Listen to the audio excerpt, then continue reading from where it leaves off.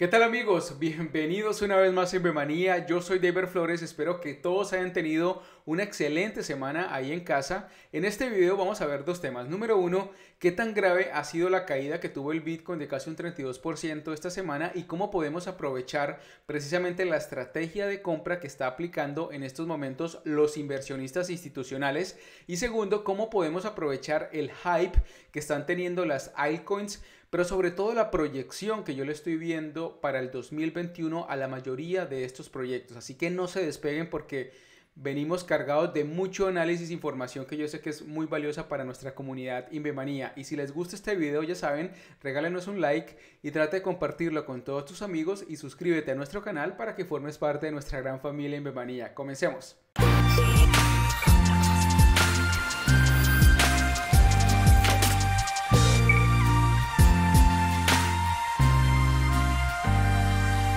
Muy bien, como lo estuvimos viendo la semana pasada y realmente no he movido nada de lo que estuvimos analizando, prácticamente aplicando esa estrategia muy sencilla que les estuve enseñando en este video, pues prácticamente el Bitcoin llegó a estos, digamos, a estas EMAs, eh, de 21 días, como ves acá, obviamente tuvo ya un retroceso mucho mayor porque pues cuando efectivamente rompe con, con, esta, digamos, fuerza la EMA de 21 días, pues se genera toda la incertidumbre, la volatilidad del mercado, pero como es prácticamente ya está nuevamente llegando a este nivel de los 34 mil dólares, 34 mil, 33 mil dólares que estuvimos viendo ahí en ese video.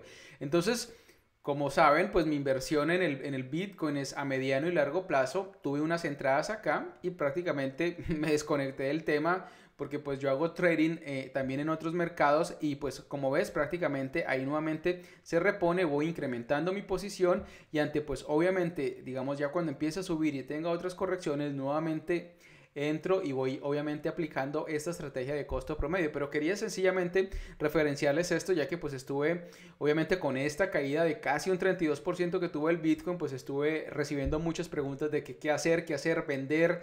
Ya esto se fue para, para niveles cero. No, tranquilos, prácticamente el Bitcoin no conoce, digamos en el largo plazo, eh, no conoce lo que es una caída. En realidad, si lo ves prácticamente en largo plazo, no ha hecho sino subir. Obviamente cuando lo vemos en velas de una hora, de incluso de un día, claro, vemos correcciones, caídas, pero si lo vemos en la película completa, esto, esto es simplemente un estornudo del mercado que está teniendo, obviamente después de haber llegado a esos niveles récords de los 42 mil dólares. Entonces es típico de cualquier mercado de obviamente avances y retrocesos. Entonces estamos en uno de estos retrocesos agarrando fuerza, acumulando para nuevamente continuar nuestro camino. Y lo digo por lo siguiente, porque cuando, digamos, muchos eh, traders minoristas, inversionistas minoritarios están asustados con lo que ha pasado digamos, con el Bitcoin esta semana, pues el dinero institucional está haciendo de las suyas y está obviamente aprovechando para comprar y hacer grandes compras. Como podemos ver en esta gráfica que registra el número de direcciones con más de mil Bitcoins, pues en la medida en que el precio cayó, sí, que es esta línea gris que ves acá, pues ha habido un aumento en el número de direcciones con más de mil Bitcoins. Esto significa que están comprando mucho más en la medida en que el precio, por ejemplo, cayó por debajo de los 30 mil dólares ayer.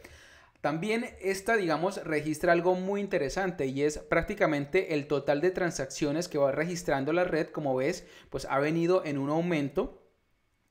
Eh, y esto también lo que nos muestra es que en paralelo, digamos, esto significa que ha habido muchas más compras, muchas más transacciones, pero estas dos de acá lo que muestran es un descenso. Es decir, esta lo que nos muestra es que, digamos, ha habido eh, una disminución en el número de transacciones en las plataformas de intercambio. ¿Y esto qué significa? Bueno, significa que al haber mayor número de compras, volumen de transacciones, pero que no están siendo, digamos, em, operadas en las plataformas de intercambio, pues significa que se está comprando en el mercado OTC es decir, over the counters. Lo que significa es que el dinero institucional no le interesa estar comprando, comprando digamos, Bitcoin en plataformas de intercambio, lo compra en, en, ah, mercados eh, por fuera, digamos, de este tipo de mercados públicos, para precisamente, como son compras enormes, no alterar el precio del Bitcoin y de esta manera comprar mucho más.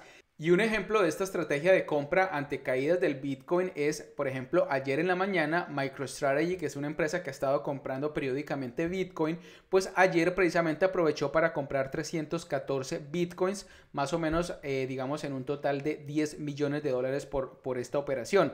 Esto significa que todavía siguen acumulando mucho más los grandes, digamos, inversionistas institucionales. Entonces, cuando unos están obviamente asustados, los minoritarios, por una caída que tiene el Bitcoin, ellos sí están viendo esto como una inversión en el largo plazo y saben que lo único que hay que hacer es una operación muy sencilla, es comprar cuando sea más barato. Es así de sencillo y acumular y acumular y acumular que luego obviamente vas a obtener tu rentabilidad. Y otra noticia que captura todo esto que está pasando con el Bitcoin y las criptomonedas es este anuncio que hizo ayer Coinbase en el que dice que en estos momentos tiene más de 90 mil millones de dólares en activos en su plataforma y más de 43 millones de usuarios registrados. Más del el 50% de estos 90 mil millones de dólares en activos criptos pertenecen a su línea de negocio Coinbase Custody. O sea, es decir, es esa línea de negocio en la que ellos hacen custodia de activos criptos, sobre todo inversionistas institucionales, a estas empresas que pues no saben mucho de toda esta tecnología, pero que quieren comprar y lo hacen a través digamos, de esta puerta que les ofrece Coinbase con todas sus, obviamente, garantías y seguridad informática. Entonces, como ves, digamos, estamos hablando de muchos minoristas que están entrando a Coinbase, pero también que muchos obviamente son grandes inversionistas que están utilizando la línea de negocio de Coinbase Custody y significa que obviamente pues está entrando mucho más dinero. Muy bien, el otro tema que les quería mencionar es que cuando el Bitcoin precisamente tiene estas correcciones, eh, o digamos empieza como a estabilizarse mucho más en su precio, pues en vez de estar preocupados con lo que está pasando con el Bitcoin, debemos ver lo que está pasando con las altcoins. Y es que para dar un ejemplo, si vemos el rendimiento que han tenido en la última semana, criptomonedas como Engine, que es una de las que yo he estado recomendando aquí en anteriores videos, ha tenido un rendimiento de un 118% en la última semana.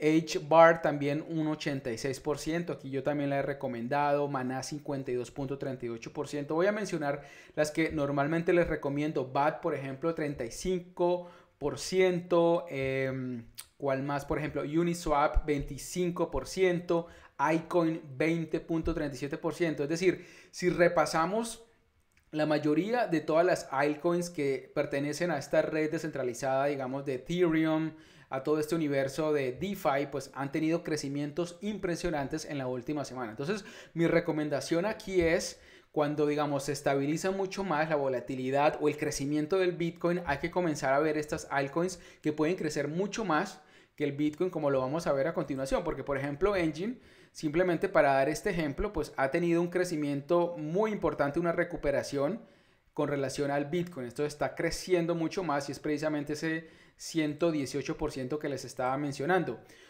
Ahora, si lo vemos en proporción al dominio del mercado de las altcoins con relación al, Bitcoin, pues también ha tenido una recuperación impresionante. Es decir, luego de estar, digamos, en esos niveles eh, inferiores o muy bajos que tuvimos de un 27%, que fueron obviamente equivalentes a lo que tuvimos en septiembre del 2019, pues estamos en una recuperación. Entonces, claramente, cada vez más se está, digamos, recuperando ese dominio del mercado de las altcoins con relación al Bitcoin. Una cosa que debemos tener muy claro es que en el largo plazo el Bitcoin va a perder dominio de mercado. Y no es porque el Bitcoin va a perder competitividad, va a perder mercado, va a perder tráfico. No, es que cada vez más van a haber más proyectos, más criptomonedas. Entonces es como irle quitando un pedacito de esa torta al Bitcoin. Es como por ejemplo en la revolución del Internet. Al principio existía una página en Internet, dos páginas, tres páginas y luego mil, dos mil, tres mil. Entonces ese monopolio que tuvo la primera página luego se fue obviamente difuminando por la mayoría que existía. Obviamente sí vamos a tener una hegemonía del Bitcoin porque pues es el papá de las criptomonedas, pero en cuestión de dominio de mercado pues eh, proporcionalmente digamos va a existir eh, eh, una disminución en la medida en que haya mucho más proyectos y que cada vez más haya mucho dinero entrando precisamente a todos estos proyectos. Entonces, como ves, estamos teniendo esta recuperación. Prácticamente ya vamos a ir a, estos niveles de resistencia que tuvimos acá en febrero 20, que es más o menos de un 37, de un 38%, y luego obviamente sería este techo acá de un 42%. Entonces, en la medida en que obviamente recupere mucho más este dominio de mercado, esto significa que más dinero, más capital están entrando a todos estos proyectos DeFi o también a esos proyectos que vemos como, digamos, están basados en el protocolo de Ethereum. Entonces, por ejemplo, vemos todos estos proyectos DeFi, este es un índice de futuros muy interesante que muestra precisamente el rendimiento que están teniendo todos estos proyectos y ya pues aproxima, digamos que desde de noviembre eh, del año pasado, pues ha tenido un crecimiento impresionante. Es decir, para mostrarles acá, pues básicamente llegó a un 300% y en estos momentos prácticamente está en un 275% en promedio de todos estos proyectos DeFi. Y lo interesante de esto es que los efectos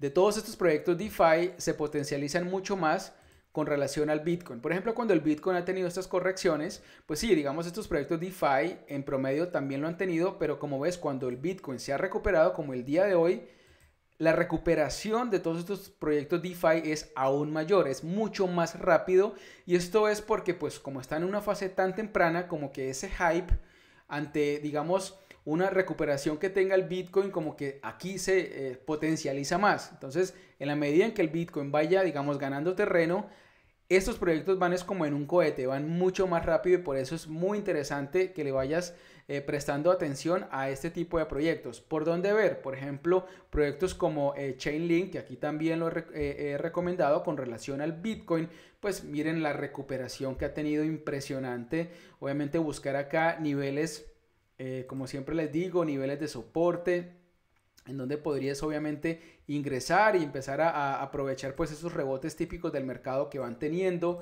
Eh, Uniswap, otro proyecto que aquí también les he recomendado, ya está creciendo mucho más con, que, con relación al Bitcoin y pues obviamente Icon, que también es un proyecto que aquí lo he recomendado ampliamente, ya tocó digamos estos niveles inferiores que tuvimos en enero del año, eh, del año pasado, precisamente hace un año y ya está nuevamente en esta recuperación.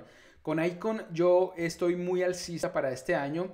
Por, no solamente por el, tema técnico, sino también por todos los fundamentales. Si ustedes están interesados, les recomiendo que le echen un vistazo a todo lo que está haciendo este proyecto en términos eh, de desarrollo, digamos, programático, eh, de nuevas líneas de negocio, nuevos aliados, en fin, y lo que tienen obviamente con su billetera.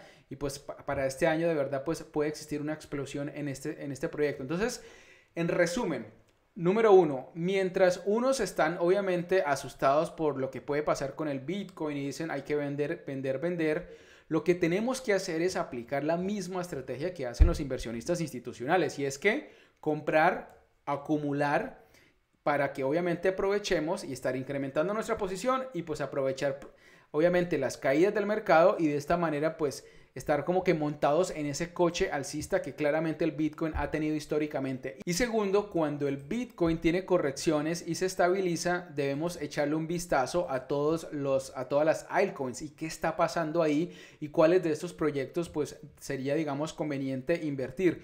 Yo lo que les recomiendo acá de entrada es hay aproximadamente 100 criptomonedas que podrías analizar y pues hay muchas buenas inversiones que puedes hacer. No te metas en la moneda 1000 que te da CoinMarketCap o la 2000. ¿Para qué, obviamente, meterte en ese tipo de proyectos tan arriesgados? Claramente hay muchas opciones que están teniendo un buen rendimiento en estos momentos y que son proyectos serios con, digamos, fundamentales que lo sustentan. Y es claro que obviamente para este año se espera una proyección impresionante como lo tuvimos en el 2017, pero ahora con proyectos mucho más maduros. Así que esa es mi recomendación, comenzar a ver todos estos proyectos, analizar niveles de soporte y resistencia y dónde puede ser buenos niveles de rebote para obviamente ustedes entrar y aprovechar estos rendimientos que pueden ser mucho más rápidos con relación al Bitcoin. Muy bien amigos, esto es todo lo que tenía para compartirles en este video. Espero como siempre que haya sido de mucha utilidad.